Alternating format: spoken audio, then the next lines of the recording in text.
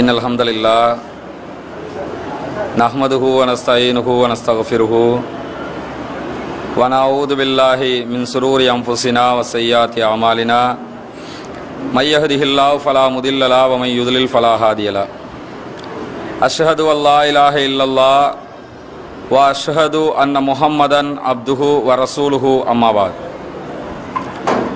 எல்லா புகழும் புகழ்ச்சியும் அல்லாஹ் ஒருவனுக்கே உண்டாகட்டுமாக அவனுடைய அமைதியும் கருணையும் நபிகள் பெருமானார் சல்லல்லாஹு அலஹி வசல்லம் அவர்கள் மீதிலும் அவர்கள் காட்டிய வழிப்படி வாழக்கூடிய அனைவர்கள் மீதிலும் உண்டாகட்டுமாக. பேரன்பிற்கினிய எல்லாம் வல்ல அல்லாஹுவின் நல்லடியார்களே நாம் வாழுகிற இந்த உலக வாழ்க்கையிலே சரியான முறையில் வாழ்ந்து மறுமையிலே வெற்றி பெற வேண்டும் என்பதற்காக இறைவன் தனது தூதர்களை காலத்திற்கு காலம் அனுப்பி வைத்து அவர்கள் மூலமாக சரியான வழிகாட்டுதல்கள் எது என்பதையும் நாம் தவிர்ந்து நடக்க வேண்டிய தவறான வழிமுறைகள் எது என்பதையும் இனம் பிரித்து காட்டியிருக்கிறான். அந்த அடிப்படையில் இந்த உலகுக்கு இறுதியாக அனுப்பப்பட்ட நபிகள் பெருமானார் சல்லல்லாஹு அலஹி வசல்லம் அவர்கள் திருமறை குர்ஆனை நம்முடைய வாழ்க்கை வழிகாட்டியாகவும் அதனுடைய முழுமையான விளக்க உரையாக தன்னுடைய வாழ்நாள் முழுவதையும் அமைத்துவிட்டு சென்றிருக்கிறார்கள். இந்த இரண்டின் அடிப்படையில் தான் இந்த உலகத்திலே வாழுகின்ற காலகட்டத்தில் மனிதர்கள் வாழ வேண்டும் என்பது இஸ்லாத்தினுடைய அடிப்படையாக இருக்கிறது.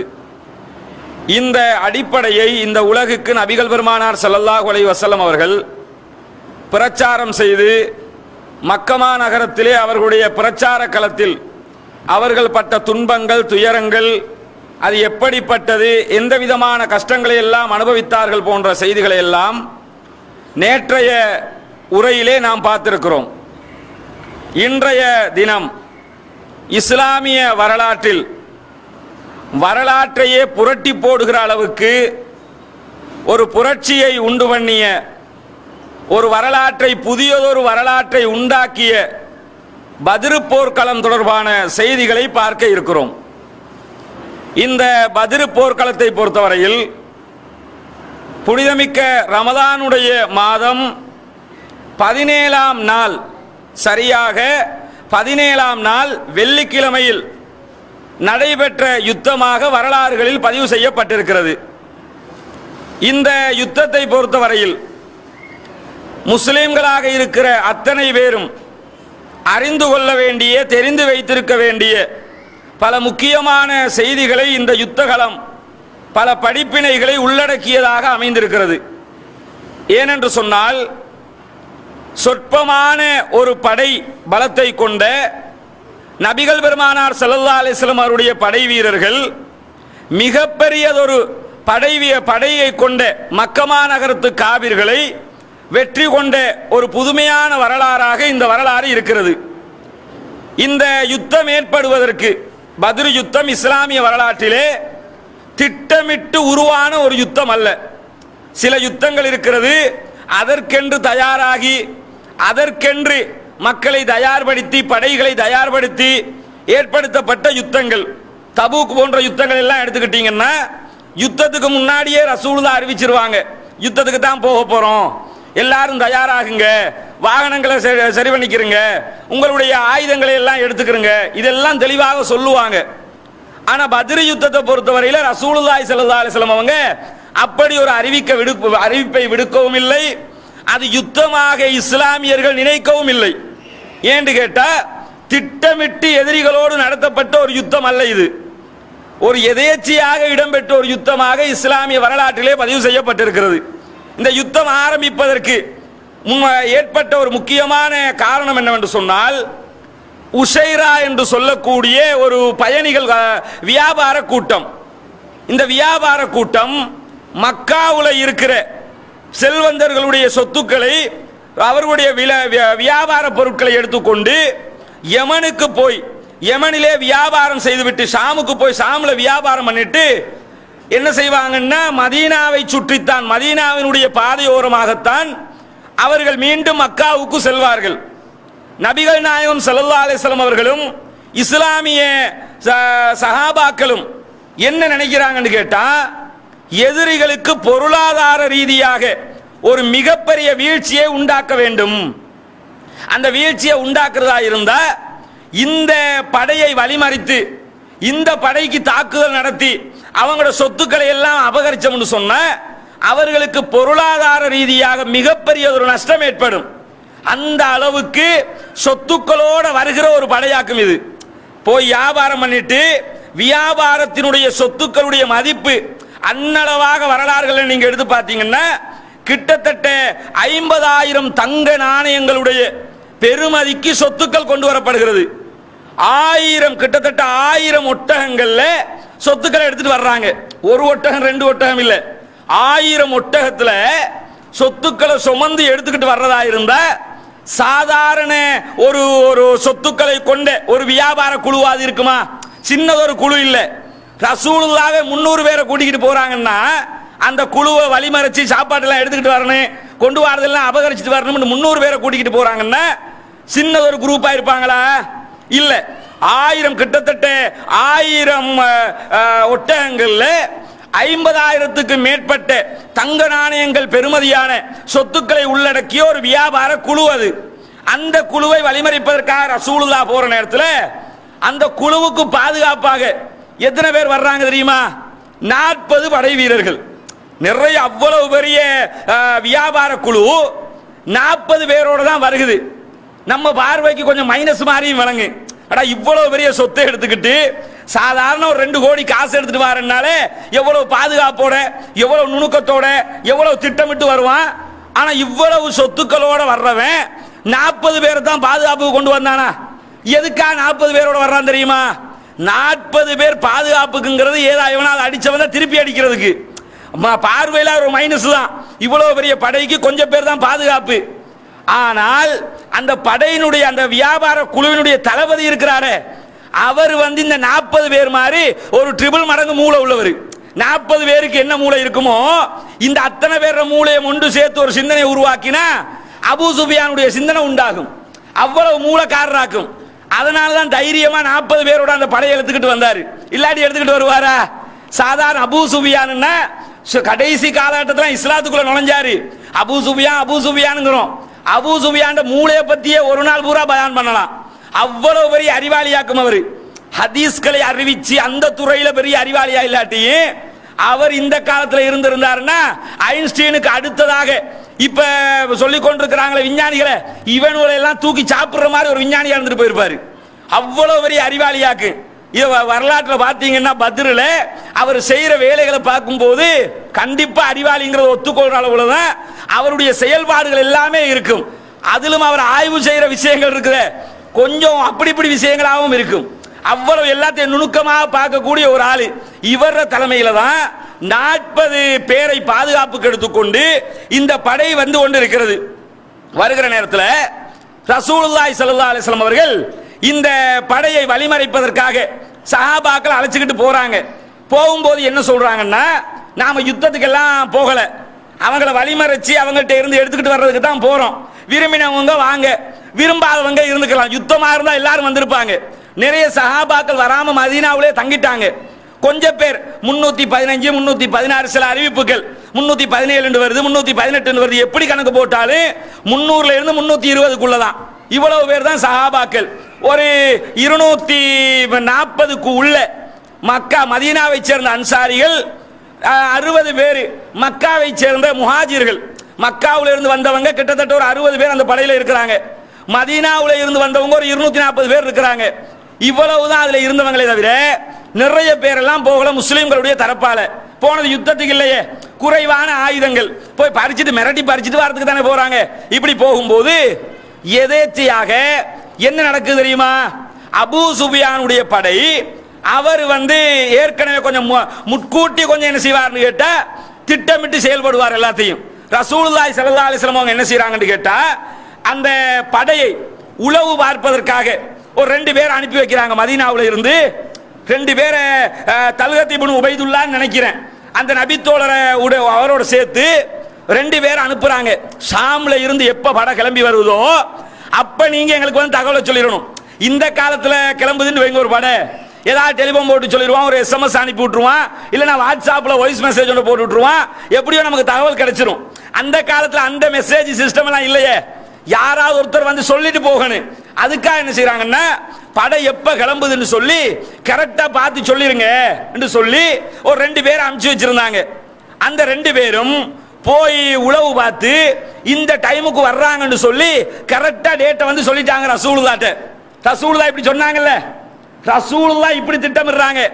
அவன் என்ன செய்யறான் தெரியுமா? அபு சுபியான் இஸ்லாத்துக்கு வர்றதுக்கு முன்னாடி அவர் என்ன செய்யறாருன்னு கேட்டா அவருடைய படையைத்தான் அழைச்சிக்கிட்டு வர்றாரு. அவர் ஒரு மடையும் கிடையாத. சும்மா யோசிக்காம வர்றதுக்கு சாதாரண ஆள் அவரு. சாதாரண படை தளபதி கிடையாது. சும்மா போய் அடிச்சுட்டு செத்துக்கிட்டு வான்றதுக்கு. திட்டமிட்டு செயல்படுற அவரும் என்ன செய்யறாருன்னு கேட்டா ரெண்டு பேரும் அனுப்பிச்சு வைக்கிறாரு. யாராவது இடையில நம்மளை உழவு பார்க்கறானான்னு போய் பார்த்துட்டு வா. போய் அனுப்பி வச்சா அந்த ரெண்டு பேரும் வந்து அவன் வந்து பார்த்துட்டு போய் சொல்றாங்க வேற. சொன்னது திருப்தி இல்லாம அபு சுபியான என்ன செய்யறாருன்னு கேட்டா அவரே களத்துல இறங்குறாரு. தலைவராக இருந்து ஆர்டரை போட்டு போய் பார்த்துட்டு வான்னு சொன்னது வேற. அவரும் என்ன செய்யறாருன்னா திருப்தி இல்லை. நாமளும் போய் பார்த்துட்டு வந்துடுவோம் யாராவது உழவு பார்த்தீங்கன்னா டவுட் ஒன்று இருக்குது. மதீனாவை தாண்டி போக போகிறோம் ஏற்கனவே பரம விரோதியா முகமது ரசூலுல்லா இருக்கிறாங்க. போட்டு அடி அடின்னு அடிச்சு எல்லாத்தையும் பறிச்சுட்டாங்கன்னா மக்காவுக்கு ஓட்டாண்டியா போயிருவோம். மக்கா காரங்களாம் நடுத்தரவுக்கு வந்துருவாங்க. அங்கே விளையிறதுக்கு ஒன்றுமே இல்லை. எல்லாம் வெளிநாட்டு இறக்குமதி தான். அப்படி இருக்கிற இடத்துல கரெக்டாக போகணுங்கிறதுக்காக இந்த திட்டம் தீட்டுறாங்க. தீட்டினா அபு சுபியா வந்தார்ல வந்தவர் எப்படி இதை அனுமானிக்கிறார் தெரியுமா? வந்து தேடுறாரு. யாராவது வந்திருப்பானா போயிருப்பானா? பாலைவனத்தை பொறுத்த வரையில காற்று வீச வீச அடையாளங்கள் அழிந்து கொண்டே போகும். பாலைவன மணல் எப்படி இருக்கு? ஒரு குதிரை ஒன்று போச்சுன்னு சொன்னா காற்று கொஞ்சம் வேகமா வீசிச்சுன்னா போன அடையாளமே தெரியாம போயிடும் இவர் என்னண்டா வந்து தேடி பார்க்கறாரு? யாராவது வந்திருப்பாங்க போயிருப்பாங்க. ஏதாவது தேடி தேடி தேடி போய் பார்த்தா கொஞ்சம் சாணம் கிடைக்குது.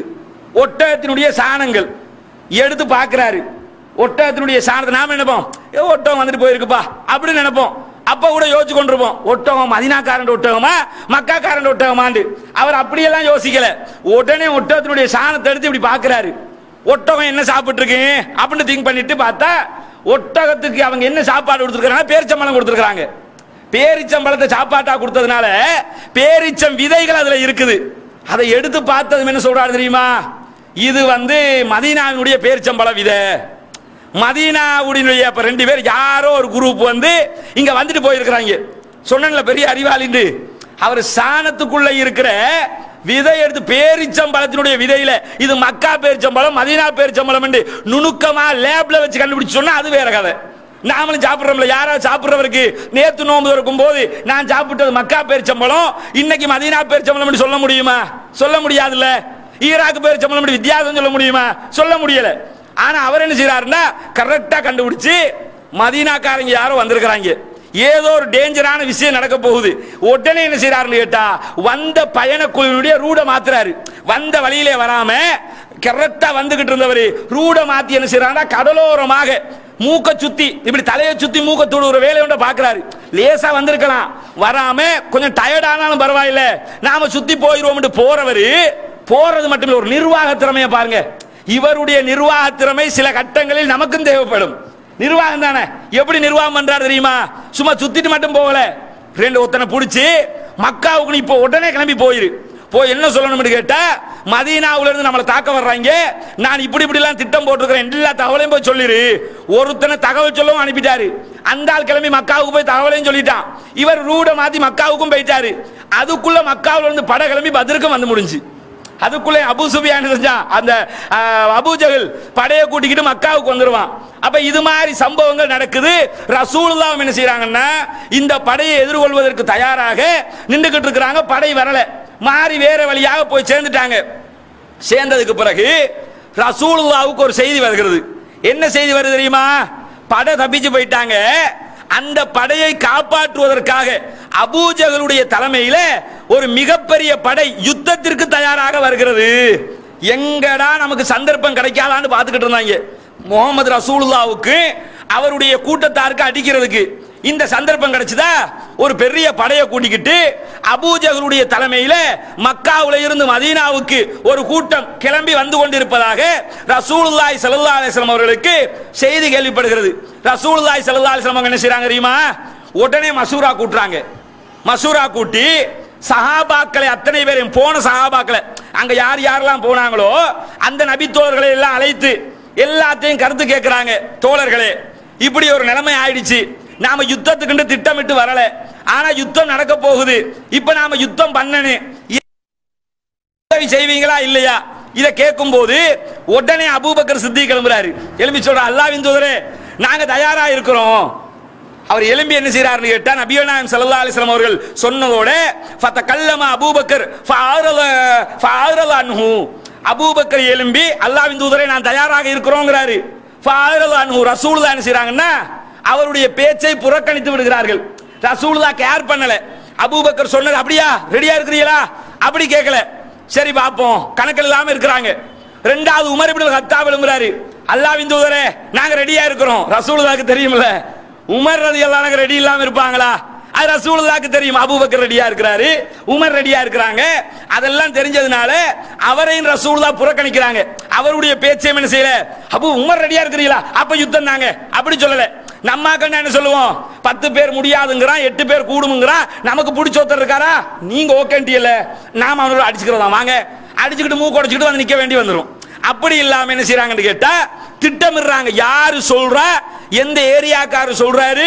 தேவையானவங்க சொல்றாங்களா இல்லையா? ஏன்னு கேட்டா மதீனாவில் நிக்கிறாங்க. மதீனா ரொம்ப பழக்கப்பட்டது மதீனா மக்களுக்கு. சொல்பவர்கள் எல்லாம் மக்காவை சேர்ந்தவர்கள். ரசூலா எதிர்பார்த்து கொண்டிருக்கும் போது ஃபகாம சாதிபின் உப்பாதா. சாதிபின் உப்பாதா ரதியல்லாஹு எழும்புகிறார்கள். இவர் ஒரு முக்கியமான நபித்தோழர். ஏன் தெரியுமா? அங்க இருக்கிற ரெண்டு கூட்டம் மதீனாவில் ஹவுஸ் ஹவுஸ் ஹஸ்ரஜ்னு சொல்லி ரெண்டு கூட்டம் இருக்குது. ரெண்டு பெரிய குடும்பம். இவங்க ரெண்டு பேரும் ரசூலுல்லா மதீனாவுக்கு போய் சேருகிற வரைக்கும் அடித்துக் கொள்ளாத நாட்களே இல்லை. ரெண்டு பேரும் எதுக்கு ஃபேமஸ் ஹவுஸ் ஹஸ்ரஜ்னு சொன்னா அடிச்சு கொள்றதுல ரொம்ப ஃபேமஸான குடும்பம் இது. அவனுக்கு இவன் அடிப்பான் இவங்களுக்கு அவங்க அடிப்பாங்க. அப்படி ஒரு ஃபேமஸான ஒரு குடும்பம். அதுல ஒரு குடும்பத்தினுடைய தளபதி எலும்பி சொல்லுகிறார் நபிகள் நாயம் ஸல்லல்லாஹு அவர்களை பார்த்து ஈயானா துரியது யார சூழல்லா அல்லாவின் தூதர் அவர்களே நீங்க எங்களை தானே எதிர்பார்த்து பேசிக்கிட்டு இருக்கிறீங்க? எலும்பி வா- கேட்கிற வார்த்தை என்னன்னு கேட்டா அல்லாவின் தூதர் அவர்களே நீங்க நாங்க யுத்தத்துக்கு வரணுங்கிறத தானே எதிர்பார்க்கறீங்க. அப்படின்னு சொல்லிட்டு நபிகள் நாயகம் ஸல்லல்லாஹு அலைஹி சொல்கிறார் வல்லதி நஃப்ஸி எதுகி என்னுடைய உயிர் எவனுடைய கைவசம் இருக்கிறதோ அல்லாவின் தூதர் அவர்களே அந்த அல்லாஹ்வின் மீது சத்தியமாக சொல்லுகிறேன் நீங்கள் எங்களை அழைத்து ஒரு கடலை தாண்டி சென்று யுத்தம் பண்ண சொன்னாலும் நாங்கள் தயாராக இருக்கிறோம். பருக்குல் ஹிமாத் பள்ளத்தாக்கிலே சென்று யுத்தம் செய்ய சொன்னாலும் தயாராக இருக்கிறோம். என்ன சொல்றாரு தெரியுமா? மக்காக்காரன் மதீனாவுக்கு வர்றான் அவனுக்கு அடிக்கிறத பத்தி பேசிக்கிட்டு இருக்கிறியே. நீங்க மக்காவுக்குள்ள பூந்து அடிக்க சொன்னாலும் நாங்க ரெடிங்கிறார் பருக்குல் ஹிமாத் இருக்குது மக்காவுக்கு பக்கத்துல. இவர் சொல்ற பருக்குல் கைமாதுங்கிற பள்ளத்தாக்கு மக்காவுக்கு பக்கத்துல இருக்குது. அந்த பள்ளத்தாக்க காட்டி சொல்றாரு சொல்லி சொல்றாரு. பருக்குல் கைமாதுக்கு போய் அடிக்க சொன்னாலும் அங்க போய் நாங்க அடிச்சுட்டு வர்றோம். எங்களுக்கு பிரச்சனை இல்லை இந்த தூதரே நாங்கள் தயாராக இருக்கிறோம் என்று சொல்லி சாதிபின் ஒப்பாதார் ரலியல்லாஹு சொல்கிறார்கள் ரசூலுல்லாய் ஸல்லல்லாஹு அலிஸ்லாம் அவர்களுக்கு சாதிபுன் ஒப்பாதா அவருடைய பதில் இருக்குதே. அந்த பதிலை கேட்டதோட ரசூலுல்லா எழுமிட்டாங்க எழுமி சொல்றாங்க யுத்தம் நான் ஆகுங்க. இதைத்தான் எதிர்பார்த்தாங்க. மதீனாக்காரர்கள் தயாராக இருக்கிறார்களா? இந்த ஊர்க்காரங்கள்ல? அவங்க ஒத்துக்கொள்ளாம சண்டை பிடிக்க முடியாது. அவங்க தான் எதுக்குமே அவங்க தயாரா இருக்கணும். ஒரு ஊருக்குள்ள ஏகத்துவம் சொல்றோம்னா ஊர்க்காரன் முதல்ல ரெடியா இருக்கணும். நீங்க வாங்க சொல்லிட்டு போங்கன்னா முதல்ல அந்த ஊர்க்காரன் தயாரா இருக்கணுமா இல்லையா? தௌஹீத கேட்க. தௌஹீத பிரச்சாரம் பண்றதுக்கு ஊர்ல ஒத்தனாவது இருக்கணுமா இல்லையா? இது மாதிரி என்ன கேட்கிறாங்கன்னு கேட்டா மதீனாக்காரங்க தயாராக இருக்கிறாங்கன்ற பதில் கிடைச்சிட்டு அதுக்கு பிறகு மிக்தாதிபனு அஸ்வத் எல்லாம் நாங்க எழும்புறாங்க. எழும்பி சொல்றாங்க நபிகள் நாயகம் சல்லா அலிஸ்லம் அவர்கள் முஸ்லிக்கீன்களுக்கு எதிராக பிரார்த்தனை செய்து கொண்டிருக்கிறார்கள்.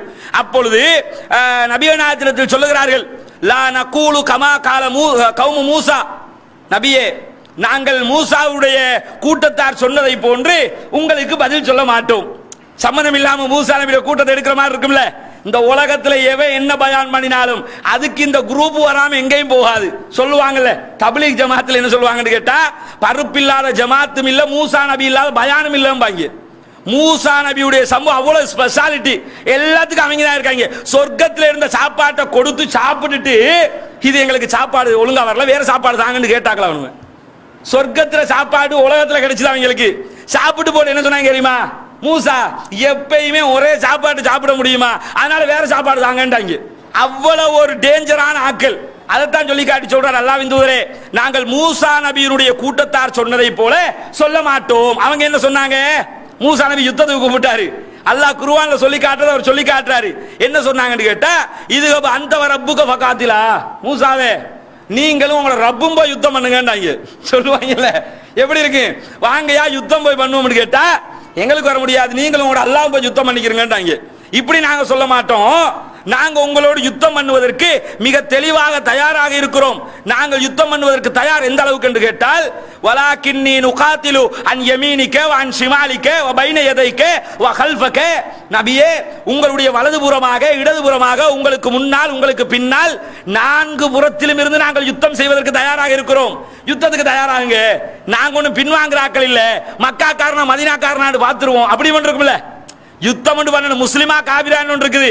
மக்கா காரணம் மதினா காரணம் ஒன்று இருக்குது. ஏன்னா அபூஜைகள் அப்படித்தான் வர்றான். அபூஜைகள் எதுக்கு வர்றான்னு கேட்டா இன்னைக்கு அடிக்கிற அடியில அரபுகள் அத்தனை பேரும் பேச வேண்டும் குறைசிகளோடு மோதக்கூடாது. அவன் சொல்லிட்டே வர்றான். இன்னைக்கு நாம முஸ்லிம்களுக்கு அடிக்கிற அடி இருக்கிற வரலாற்றுல பேசணுமா? அரபுகள் அத்தனை பேரும் நாவல் அது பேசப்படணுமா? என்ன பேசப்படணுமா? குறைசிகளோட மோத முடியாதுப்பா. தேடி போய் அடிச்சிட்டாங்களா இல்லையா? அப்படின்னு பேசப்படணுமா? ஆனா தேடி போய் வாங்கி தின்ட்டு வந்தான். அது நடந்தது வேற. ஆனா என்ன கர்வத்தோட வர்றான்னா தேடி போய் அடிச்சோம் என்று சொல்லி ஒரு வரலாற்று பதிவு இருக்கணும் அந்த வெறியில தான் அவன் வந்தான். அதைத்தான் இவங்களும் சொல்றாங்க. நாம ரெடியா இருக்கிறோம். அவங்களா இவங்களான்னு பார்த்துருவோம். அப்ப ரசூல் தான் என்ன தெரியுமா? எலும்பி படையை தயார் செய்கிறார்கள்.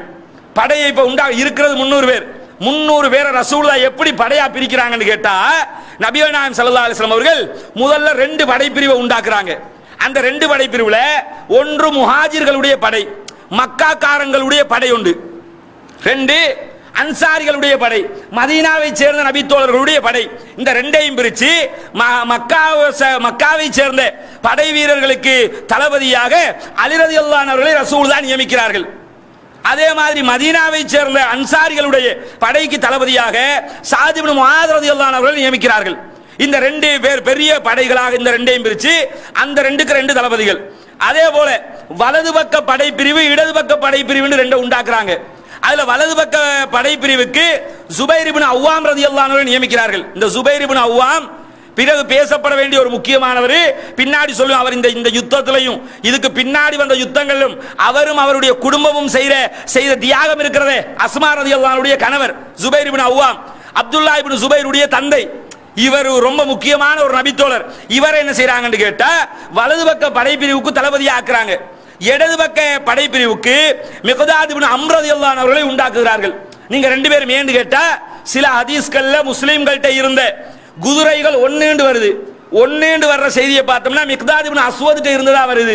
வரலாற்றுல செய்தி செய்திகளை பார்க்கும்போது போது இப்னு அவ்வான்ட்ட ஒரு குதிரை இருந்ததா வருது. எப்படி பார்த்தாலும் ரெண்டு குதிரை தான் முஸ்லீம்கள்ட்ட.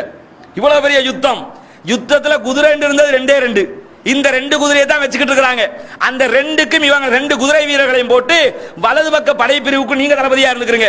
இடது பக்க படைப்பிரிவுக்கு நீங்க தளபதியா இருந்துக்கிறீங்கன்னு சொல்லி ரெண்டு பேரை நியமிச்சிட்டு கடைசியாக இன்னொரு படைப்பிரிவை உண்டாக்குறாங்க. மொத்தம் ஐந்து படைப்பிரிவு. ராணுவத்தில் வச்சிருப்பான்ல. ஹெச் பிரிவு ஜே பிரிவு பிரிச்சு பிரிச்சு வச்சிருப்பானே. அது மாதிரி தரைப்படையில அதுல பல பிரிவுகள் இருக்கும். விமானப்படையின அதுல பல பிரிவுகள் இருக்கும். ரசூல் அது மாதிரி ஐந்து படை பிரிவுல ஐந்தாவது படை பிரிவாக கைசிபின் அபி சல்சா என்று சொல்லி ஒரு நபித்தோழர் அவருடைய தலைமையில ஒரு படை பிரிவையும் உண்டாக்குறாங்க. உண்டாக்கி இந்த ஐந்து படைப்பிரிவுக்கும் பொது தளபதி ரசூலுல்லா ஐந்து படைப்பிரிவு ஐந்து படைப்பிரிவுக்கும் ஐந்து தளபதிகள் இருக்கிறாங்க. பொது தலைவராக ரசூலுல்லா இருக்கிறாங்க. ராணுவத்தில் அப்படித்தான் இருக்கும். ராணுவத்தில் நீங்க எடுத்துக்கிட்டீங்கன்னா ஒவ்வொரு படைப்பிரிவுக்கும் ஒவ்வொரு ஜெனரலை போட்டு என்ன செய்வான்? ஒவ்வொரு தளபதியை வச்சிருப்பான். பொதுவா ராணுவ தளபதின்னு ஒருத்தர் வச்சிருப்பான். பொன்சேகா இருந்தார்ல. முப்படைகளின் தளபதிங்கிறது தனி. அதனால தான் அந்த பிரச்சனை வந்துச்சுல்ல. அது வந்தது முப்படை தளபதி அவர் மாற்றினதுக்கு பிறகு. ராணுவ தளபதியாக சரத் பொன்சேகா இருந்தார். இருக்கிற நேரத்தில் அவருக்கு கீழே நிறைய தளபதிகள் இருப்பாங்க. ஒவ்வொரு படைப்பிரிவுக்கும் ஒவ்வொரு தளபதிகளை வைத்திருப்பார்கள். இது மாதிரி ரசூலுல்லா ஐந்து படைப்பிரிவுகளை உண்டாக்கி ஐந்து தளபதிகளை உண்டாக்கி ஐந்து தளபதிகளுக்கும் பொது தளபதியாக ரசூலுல்லாஹி சல்லா அலிஸ்லாம் அவர்கள் இருக்கிறார்கள். இருந்துட்டு என்ன செய்யறாங்கன்னு கேட்டா அங்க இருந்து படையை நகர்த்துறாங்க. இருக்கிற இடத்துல இருந்து படை இப்ப கொஞ்சம் கொஞ்சமா நகருது. எங்கெங்கெல்லாம் நகருதுன்றத பேச போனோம்னா ஒரு நாள் ஆயிரும். உங்க போய் நின்னாங்க அடுத்து போய் நின்னாங்க எடுத்து போய் அது வேற. ஆனா சுருக்கமா சொல்றேன். ரசூல்லா இருக்கிற இடத்துல இருந்து எங்க நகர்றாங்கன்னு கேட்டா நாசியா சஃப்ரா என்று சொல்லக்கூடிய ரெண்டு இடம் ரெண்டு ஊரு மாதிரி ரெண்டு இடம். அந்த இடத்துக்கு இடையில இருக்கிற ருஹகான் என்று சொல்லக்கூடிய ஒரு ஏரியாவுக்கு போறாங்க. அங்க போய் முதல்ல நிக்கிறாங்க. நின்று என்ன செய்யறாங்கன்னு கேட்டா அந்த ருஹகானுண்ட இடத்துல இருந்து சஃப்ராவினுடைய குறுக்கு வழி கு- குறுக்கு வழியை பயன்படுத்தி என்ன செய்யறாங்கன்னு கேட்டால் சஃப்ரான் என்ற இடத்துக்கே போய் நிற்கிறாங்க ஒரு குறுக்கு வழியால சஃப்ரானுடைய ஓரமாக குறுக்கு வழியால வந்து சஃப்ரான் என்ற இடத்துக்கு வந்து அடைகிறாங்க அடைஞ்சிட்டு என்ன செய்யறாங்கன்னு கேட்டா பஸ்பஸ் இப்னு அம்ரு அல் ஜுஹைனி ரதியல்லானவங்களையும் அதீபனு அபு சஹ்வா அல் ஜுஹனி ரதியல்லானவங்களையும் சேர்த்து ரெண்டு பேரையும் பத்ரு பள்ளத்தாக்குக்கு போய் உழவு பார்த்துட்டு வாங்கங்கிறாங்க. பத்ரு பள்ளத்தாக்கு தூரத்தில் இருக்குது. இவன் நிற்கிறது வேற இடம். இங்க இருந்து என்ன சொல்றாங்கன்னு கேட்டா மக்கா காவிரியுடைய நிலை என்னன்னு போய் பார்த்துட்டு ரகசிய போலீஸ் வேலையை பாருங்க சிஐடி வேலையை பாருங்க என்று சொல்லி அனுப்பி ரசூலுல்லாவுடைய படை இருக்குதே. யோசிச்சு பாருங்க சஹாபாக்கள். அவங்க வீட்டுக்கு போனா சஹாபா பள்ளி சஹா- ரசூலுல்லாவோட இருந்தா சஹாபாக்கள். வீட்டுக்கு போனா குடும்ப தலைவன். விவசாயத்துக்கு போனா விவசாயி. யுத்தத்துக்கு வந்தா ராணுவ ராணுவ ராணுவம் மாதிரி ஆயிடுவாங்க. முடிஞ்சு போச்சா? ரசூலுல்லா கூட ராணுவ தனி பிரிவு இல்லை. ஆனா சஹாபாக்கள் யுத்தத்துக்கு ரெடியாங்கன்னா அவங்க தான் ராணுவம் எப்படி ஒரு படைப்பிரிவு? சும்மா சொன்னா சொன்ன இடத்துல நிக்கிற மாதிரி ஒரு குரூப் அதான் ரசூலுல்லா வெற்றிக்கு காரணமாகவே அமைந்தது. அவர்கள் குருவான் சுன்னா என்று சொன்னதை ஒத்துக்கொண்டார்கள். கொள்கையில நிலைச்சு நின்றாங்க. அதனால ரசூலுல்லாவுடைய இந்த இஸ்லாமிய பிரச்சாரம் வேகமாக வளர்ச்சி அடைந்தது. சொல்லி முடிய இந்த ரெண்டு பேரும் போய் என்ன செய்யறாங்கன்னு கேட்டா உளவு பார்க்கிறார்கள். இந்த ரெண்டு பேரும் போய் உளவு பார்க்கறது மட்டும் இல்லாம என்ன நடக்குதுன்னு கேட்டா நபிகள் நாயகம் சல்லா அலிஸ்லாம் அவங்களே தனியாகவும் உழவு பார்க்கிறாங்க. இந்த ரெண்டு பேரும் உழவு பார்க்கிறாங்க. ரசூலுல்லா என்ன செய்யறாங்க தெரியுமா? ரசூலுல்லாவும் உழவு பார்க்கிறார்கள். எப்படி உழவு பார்க்கிறாங்க தெரியுமா? அங்க இருந்து கிளம்பி போய் ரசூலுல்லா அபூபக்கர் சித்திக் ரதி அன்ஹு போய் கிளம்பி போய் யாராவது நிற்கிறாங்களா எந்தெந்த ஆக்கள் வந்திருக்கிறாங்கன்னு பார்க்குற நேரத்தில் ஒரு வயசாளி வர்றாரு. ரசூலுல்லாய் ஸல்லல்லாஹு அவர்கள் கேட்கிறார்கள் அவர்கிட்ட இந்த பகுதியில் முகம்மதுடைய படையும் அதே போல குறைசியலுடைய அபூஜகளுடைய படையும் சண்டை பிடிக்க போகுதாமே அவங்க ரெண்டு பேரும் எங்க இருக்கிறாங்க அப்படின்னு கேட்கிறாரு ரசூலுதாவுடைய திட்டத்தை பாருங்க. அபூஜகருடைய படை எங்க இருக்குன்னு கேட்டா அந்த ஆள் விளங்கிடுவார்ல ஓஹோ நீங்க முகமதுடைய படையாப்ப விளங்கிடுவாரு அதனால தான் ரசூல் தான் பொது மனுஷன் மாதிரி நின்றுக்கிட்டு இந்த ரெண்டு பேரும் எங்கன்னு கேட்குறாங்க அவர் என்ன சொல்றாரு தெரியுமா? அதை கேட்க நீங்க யாருன்னு கேட்குறாரு கேட்குறீங்கள நீங்க யாரு? நான் ரெண்டாவது சொல்றேன். நான் யாருன்றதை உனக்கு சொல்லுவேன். சொல்லாம போக மாட்டேன். ஆனா அவங்க ப- ரெண்டு பேரும் எங்க இருக்கிறாங்கன்னு சொல்லு. அது சொல்லுவீல்ல நீங்க சுவரா சொல்லணும் அவர் கேட்கிறாரு சுவரா என்ன செய்யணும்? நீங்க யாருன்றதை சொல்லணும். ஆ சொல்லுவேன்ப்பா நீங்க சொல்லுங்கன்றதோட அந்த வயசாளி என்ன சொல்றாருன்னா எப்படி புத்தி கூர்மன்னு பாருங்க. நாம யோசிப்போம்ல இந்த ஹதீஸ் கலையில அறிவிப்பாளர்களை இட போட்டிருக்கிறாங்களே அப்படி பாதுகாத்து குருவானை மனநம் விட்டாங்கல்ல. இதெல்லாம் யோசிச்சு பாருங்க அந்த காலத்துல இந்த எழுத்து துறை அது இதெல்லாம் பெரிய அளவுல வளர்ச்சி இல்லாதனால அப்படியே மண்டையில எல்லாத்தையும் ஏத்தி வச்சுக்கிறாங்க எல்லாருக்கும் அப்படி மனப்பாடம் அச்சு அசலா இப்படின்னா இப்படின்னு கணக்கு போட்டு சொல்லுவான். அது மாதிரி கந்தால் என்ன செய்யறாரு கேட்டா முகம்மதுடைய படை மதீனாவுல இருந்து இந்த டேட்ல கிளம்பி இருக்கலாம் இந்த டேட்ல கிளம்பினா இந்த இந்த ஊரால வந்து இந்த டேட்டுக்கு இந்த இடத்துக்கு வந்து நிப்பாங்க. சொல்லி முடிய ரசூலுதா பாக்குறாங்க. அவர் சொன்ன இடத்துல ரசூலுதாவுடைய படம் நிக்குது. அந்த ஆள் சொல்றாருல சொன்ன இடத்துல தான் அன்னைக்கு நின்றுட்டு இருக்கிறாங்க. கரெக்டா டேட்டை பார்த்து இடம் போட்டு சொல்றாரு.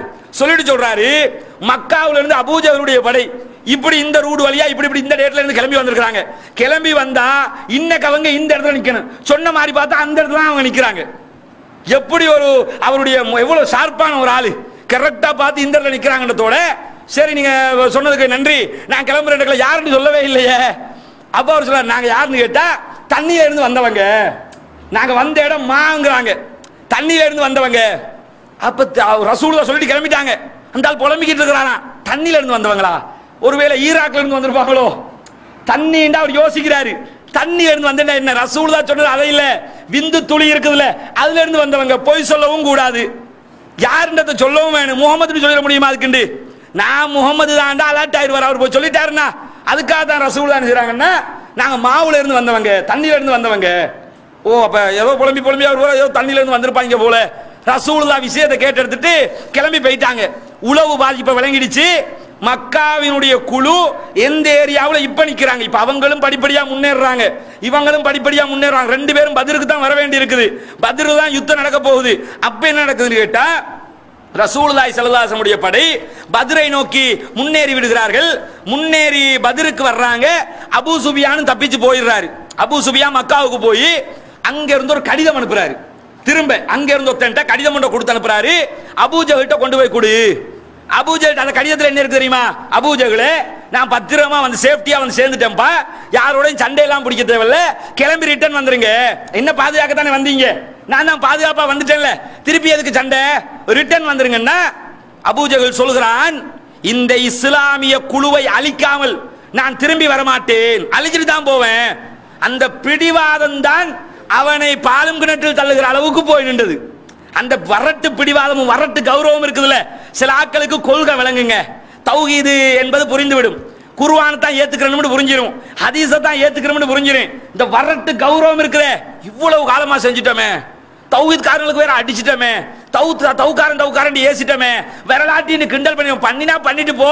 கொள்கை தெரிஞ்சா வந்துட வேண்டியதானே அந்த வரட்டு கௌரவத்துக்காக என்ன செய்வாங்கன்னு கேட்டா இருக்கிறதான் சரின்னு சொல்லி வரட்டு பிடிவாதத்திலிருந்து அப்படியே நரகம் போகிற அளவுக்கு அவருடைய காரியங்களை அமைத்துக் கொள்வார்கள். இதைத்தான் அபூஜகல் செஞ்சான். அவன் தானே முன்மாதிரி.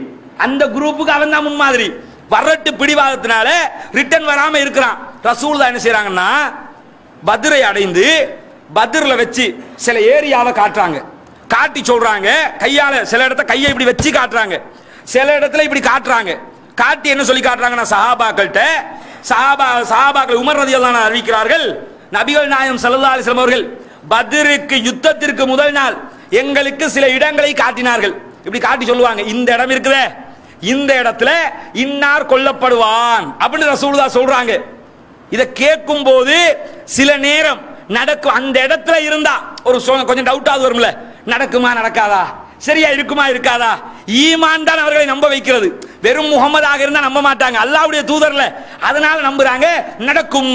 உமர் ரதியல்லாஹு சொல்கிறார்கள் நபிகள் நாயகம் எந்த இடத்தை சுட்டிக்காட்டி எவன் சாகுவான் என்று சொன்னார்களோ அந்த இடத்தில் ஒரு அணுகூட பிசகாமல் அதே இடத்தில் அன்னார் செத்து போயிருந்தான். யுத்தத்துக்கு பிறகு சொல்லுவாங்க.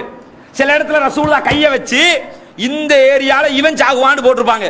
கரெக்டா வட்டம் போட்டு கொண்டு கொண்டாந்து போட்ட மாதிரி அந்த இடத்துல அவன் செத்து போய் என்ன ஏன் சொல்ல வர்றேன் தெரியுமா? நபிகள் நாயகம் அல்லாஹ்வுடைய தூதர் அல்லாஹ்வுடைய வகை செய்தியால சொல்றாங்க இந்த இடத்துல இன்னார் சாகுவான். இது எவ்வளவு நம்பிக்கையை தர தெரியுமா? இது ஒரு படை தளபதியினுடைய ஒரு முக்கியமான படை நகர்த்தல் இது. இதை சொல்லக்கல ஆட்டோமேட்டிக்கா ஒரு ஒரு உத்வேகம் பிறக்கும். ஓ இந்த இடத்துல அபூஜ உதாரணத்துக்கு யாரு பேருண்டெல்லாம் வரல. இந்த இடத்துல அபூஜகள் சாகுறாங்கன்னு சொன்னா உடனே நினைக்கும். ஓ அபூஜகளே செத்துருவானா? அப்ப நாம ஜெயிச்சிருவோம். அப்ப வாய ரெண்டு லோடு பாத்துருவோம் வெட்டி சாச்சிருவோம் அபூஜகளே செத்துருவான் இருக்குல்ல? உத்துபா இந்த இடத்துல. ஓ உத்துபா இந்த இடத்துலயா? இவன் உத்துபா அபிமுக இந்த இடத்துல. அப்படியா? வலிதி இடத்துல இப்படி பார்த்தா ஆட்டோமேட்டிக்கா என்ன ஆகும் தெரியுமா? உள்ளத்துல ஒரு உறுதி வந்துடும் நாம ஜெயிச்சிருவோம். இதைத்தான் ரசூல் என்ன செய்யறாங்கன்னா வகை செய்தியினூடாக சஹாபாக்களுக்கு சொல்லுகிறார்கள் இந்த இடத்தில் இவன் சாகுவான் இந்த இடத்தில் இவன் சாகுவான் என்று சொல்லி ஒவ்வொரு இடமாக சுட்டி காட்டுகிறார்கள் சுட்டி காட்டிவிட்டு அடுத்த நாள் என்ன செய்யறாங்கன்னு கேட்டா இப்ப எதிரிகளுடைய படைபலத்தை அறியணும். எந்த அளவுக்கு படைபலம் இருக்குது? முஸ்லீம்களுடைய படைபலத்தை விட அவங்களுடைய படைபலம் எந்த அளவுக்கு இருக்கணுங்கிறத அறிஞ்சுக்கிறாங்க. அறியறதுக்கு ஒருத்தனை பிடிச்சிடுறாங்க. எதிரிகளுடைய படையிலிருந்து ஒருத்தன் கைது செய்யப்படுகிறான். கைது செய்யப்பட்டு நபிகள் நாயகம் சல்லா அலிஸ்லாம் அவருடைய படை என்ன செய்யறாங்கன்னு கேட்டா அவனோட அடிமையாக இருந்தான். அவனுக்கு சஹாபாக்கள் அடி அடின்னு அடிக்கிறாங்க. ரசூலுதான் தொழுது கொண்டிருக்கிறாங்க. அடிச்சு என்ன கேட்பாங்க தெரியுமா? அவன்கிட்ட கேட்பாங்க இந்த அபூ சுபியானுங்க அவன் தெரியாதும்பான். உண்மையிலே அவனுக்கு தெரியாது. அபூஜகல் எங்கன்னு கேட்டால் கரெக்டாக சொல்லுவான். இந்த இடத்துல வந்திருக்காங்க இத்தனை பேர் வந்திருக்காங்கன்னா அவன் அபூ சுபியானை பற்றி அவன் சொல்றது உண்மை. உண்மையை சொல்லக்கல அடிப்பாங்க. ஏன்னா அவங்களுக்கு தேவை அபூ சுபியான்ற செய்தி. பொய்ய சொல்லக்கல விட்டுருவாங்க ரசூல் தான் தொழுதுகிட்டு இருக்கிறாங்க. அவசரமா தொழுது முடிச்சுட்டு சொல்றாங்க சஹாபாக்களே. அவன் உண்மையை சொல்லக்கல அவனை விட்டு அடிக்கிறீங்க. பொய்ய சொன்னா விட்டுடுறீங்க அவன் சொல்றதுல ஒரு பக்கம் உண்மை இருக்குது. அபு சுபியான் தப்பி போயிட்டான். அது நமக்கு தெரிஞ்ச விஷயம். இவன் இந்த ஆக்கள் இருக்க என்ன விவரம் கேட்டுக்கிறங்க? ரசூலுல்லாஹி ஸல்லல்லாஹு அலைஹி அவங்க உளவு பார்க்க அந்த அந்த அவன்கிட்ட வச்சு கேட்குறாங்க ஏய் அவங்க எத்தனை பேர் இருப்பாங்க? அவனுக்கு நிறைய பேர் இருக்காங்கங்கிறான். சொல்ல மாட்டேங்கிறான். எத்தனை பேர் இருக்காங்கன்னு கேட்டா நிறைய பேர் இருக்காங்க. நிறைய பேர்னா எத்தனை பேர்? முந்நூறு பேரா? நானூறு பேரா? ஐநூறு பேரா? தெரியாதுல்ல. திரும்பாட்டி எத்தனை பேர் சொல்றா? நிறைய பேர் இருக்கிறாங்க. இப்படியே கேட்டா பதில் வராதுல்ல? ரசூலுல்லாய் சல்லா அலிஸ்லாம் அவர்களுடைய சமயோசித புத்தி இருக்கிறது. ரசூலுல்லாய் சல்லா அலிஸ்லாம் அவர்கள் ஒரு சிறந்த தேர்ச்சி பெற்ற ராணுவ தளபதி என்பதை பல கட்டங்களில் நபிகள் நாயகம் தெளிவுபடுத்துவார்கள். அதுல ஒரு முக்கியமான கட்டம் இந்த இடம். ரசூலுல்லா அவனை கொஞ்சம் இல்லை நீ அவங்க எத்தனை பேர் எத்தனை பேர் அதெல்லாம் சொல்ல வேணாம்ப்பா. ஒரு நாளைக்கு அவங்க எத்தனை ஒட்டாம இருப்பாங்க? சம்பந்தம் இல்லாம கேட்குறாங்க உடனே ஒட்டகமா ரசூல்லா மக்காக்காரர்ல.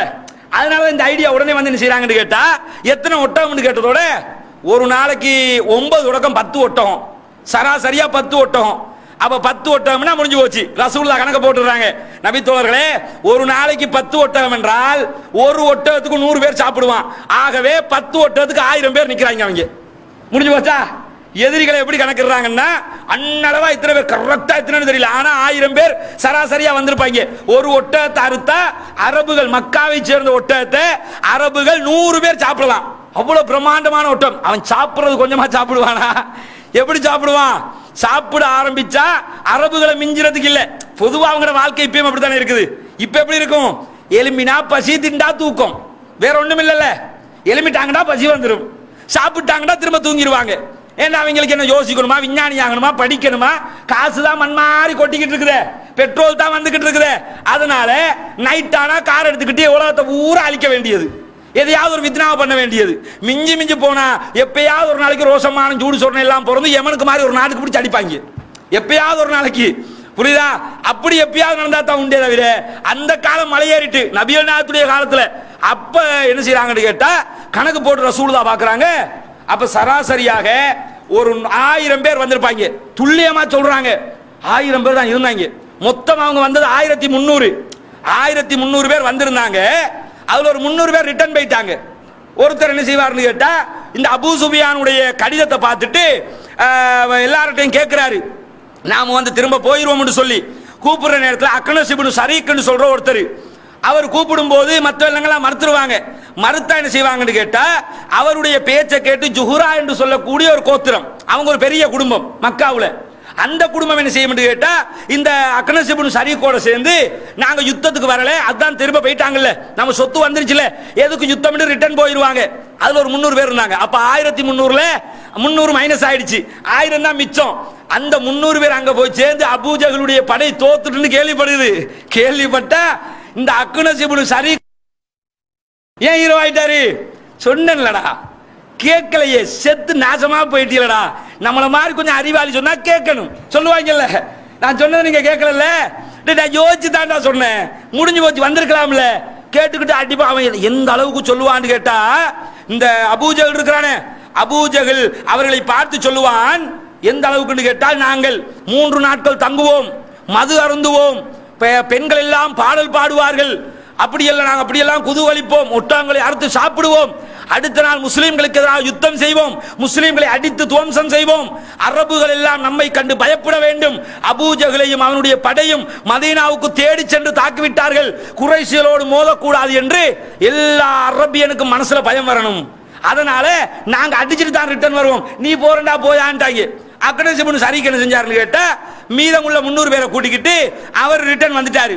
வந்தா என்ன செய்யறாங்கன்னு கேட்டா இந்த பதிரில் பத்ரில் ரெண்டு கூட்டமும் பத்ருக்கு வருகிறார்கள்.